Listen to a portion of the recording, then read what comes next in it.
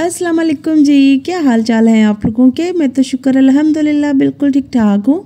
और इन आप लोग भी अपने घरों में खुश होंगे, बिल्कुल ठीक ठाक होंगे। तो अच्छा जी बैठे बैठे ना प्लान बना के ना हम लोग बाहर चलते हैं कि थोड़ी देर के लिए। और सिर्फ़ मैं और उस्मान गए थे क्योंकि एक तो मेरा स्पेशली दिल कर रहा था कुछ ठंडा और मीठा खाने को। तो मैंने उस्मान को कहा, फिर निमत खाने चलते हैं वहाँ से ना। हम लोग सैलड भी ले लेंगे खाने के लिए और साथ मुझे एक दो चीज़ें लेनी है तो मैं वो भी ले आऊँगी, ठीक है? तो मैं और उस्मान आ गए हैं यहाँ पे जी निमत खाने और बच्चे घर पे ही हैं और बच्चे ना माशाल्लाह से शुक्र, अल्हम्दुलिल्लाह, अल्लाह ताला बुरी नज़र से बचाए। हम लोगों को अगर किसी काम से बाहर जाना पड़ जाए ना तो बच्चे एक दो घंटा शुक्र, अल्हम्दुलिल्लाह आराम से निकाल लेते हैं। माशाल्लाह से वो कोई ऐसी शरारतें करते नहीं जिससे नुकसान हो। अच्छा मैं बहुत अच्छी तरह से फिर भी बच्चों को समझा के जाती हूँ कि आप लोगों ने शरारतें नहीं करनी, आपस में लड़ना नहीं है, कोई भी ज़रूरी काम हो, बात हो, आप लोगों ने फ़ौर मुझे या पापा को कॉल मिला लेनी है, ठीक है? और दूसरा ये कि बेल हो, दरवाज़ा नोक हो, आप लोगों ने नहीं खोलना। तो बस यही करके ना तो बता के समझा के तो हम लोग आगे थे। यहाँ पे जी हम लोग अपना फेवरेट सैलड पैक करवा रहे हैं और साथ आज मैंने ना केक रस भी ले लिए हैं, ठीक है? और केक रस भी हम लोग लाजमी लेकर जाते हैं और सैलड भी लेकर जाते हैं, ठीक है? और यहाँ पे जी सारा बिल वगैरह हो गया था और मैं और उस्मान जल्दी से निकलते हैं क्योंकि बच्चे घर में अकेले हैं।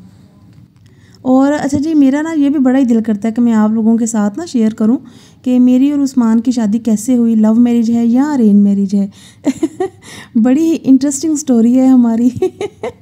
तो मेरा बड़ा कभी कभी दिल करता है कि मैं आप लोगों के साथ शेयर करूँ। इतनी इंटरेस्टिंग स्टोरी लेकिन फिर ये है कि मैं ना जो व्लॉग में चल रहा होता है वो नहीं बता पाऊँगी। तो मैं किसी ऐसे व्लॉग के इंतज़ार में हूँ कि आराम से बैठूँ और बस वीडियो चल रही हो तो मैं आप लोगों के साथ शेयर करूँ अपनी शादी की स्टोरी के कैसे हमारी शादी हुई है। और अच्छा जी, अगर आप लोग भी इंटरेस्टिंग है ना ये स्टोरी सुनने के लिए तो मुझे कमेंट सेक्शन में ज़रूर बताइएगा, ठीक है? फिर मैं जल्दी से ना कोई ऐसा व्लॉग बनाऊँगी जहाँ आराम से बैठ के तो आप लोगों के साथ ना अपनी जो है ना मैरिज की, शादी की स्टोरी वो शेयर करूँ, ठीक है?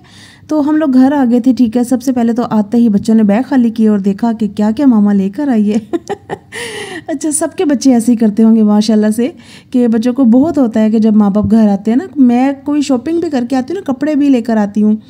तो भी बच्चे आते फ़ौर बैग खोल के देखते हैं कि मामा क्या क्या लेकर आई है। और मैं जब भी बाज़ार जाती हूँ ना, मैं हमेशा अपने बच्चों के लिए कुछ ना कुछ ज़रूर लेकर आती हूँ। अच्छा यहाँ पे ना ये जो डिब्बे होते हैं ना, मैं बड़े इनको संभाल कर रखती हूँ। लेकिन कुछ लोगों को तो इनकी कदर ही नहीं है। हम तो देसी माओ को देख देख के ना तो ये डिब्बे संभाल कर रखते हैं। मैं इनको धो धो के रखती थी, मैंने बहुत ज़्यादा इकट्ठे कर लिए थे, फिर मैंने अपनी हेल्पर को दे दिए।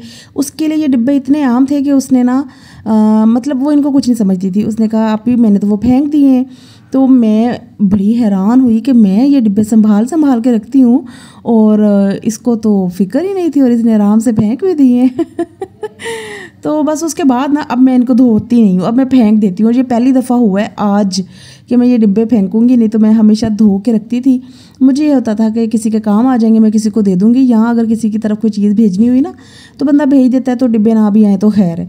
लेकिन अब नहीं, मैं संभाल के रखती। अब मैंने पहली दफ़ा ये डिब्बे फेंके, जो मैंने आप लोगों को दिखाए हैं।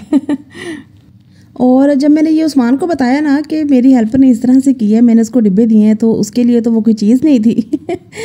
तो उस्मान बड़ा हंसे और उस्मान ने कहा कि देखा, मैं तो तुम्हें कहता था कि नादिया, अगर हम बाहर से कुछ खाने के लिए मंगवाते हैं, तब भी तुम घर में बर्तन धोती रहती हो, इनको धो धो के संभाल के रखती हो। तो मतलब इनको फेंक दिया करो साथ। तो मैंने फिर आज अमल किया और पहली दफ़ा मैंने डिब्बे फेंके हैं।